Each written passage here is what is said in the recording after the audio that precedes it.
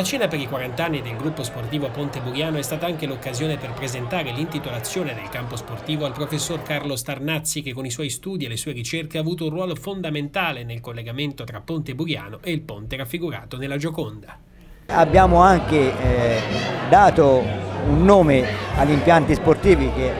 quello di Carlo Starnazzi per i suoi studi che ha fatto eh, legati a Leonardo da Vinci, la presenza di Leonardo da Vinci sul posto, quindi i suoi tantissimi studi per i quali ovviamente ha avuto dei riconoscimenti internazionali.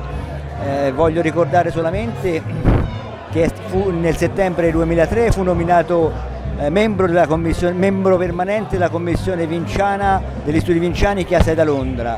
Ha ricevuto medaglia d'oro dal nostro Presidente della Repubblica, è in comita la regina di, di, di, eh, di Inghilterra e quindi ci sembra, è, è, un caro amico e concittadino, quindi estimato amico tra l'altro, quindi mi, sem mi, è sembrato opportuno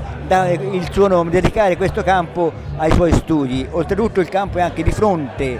al Museo Leonardo e Laretino, proprio creato sullo studio di Carlo Stannazzi e curato scientificamente dal professor Carlo Pedretti, che è il numero uno nel mondo e nel tempo degli studi vinciani, e quindi io ecco, stasera sono parecchio contento. E poi si è fatta un'altra cosa ovviamente,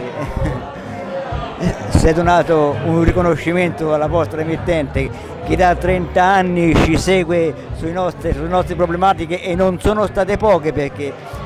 se ricordo i sei anni di battaglia per cercare di eliminare dal, dal, dal piano di bacino l'innalzamento di Galapenna, eh, dico devo ricordare che voi altri siete stati i primi.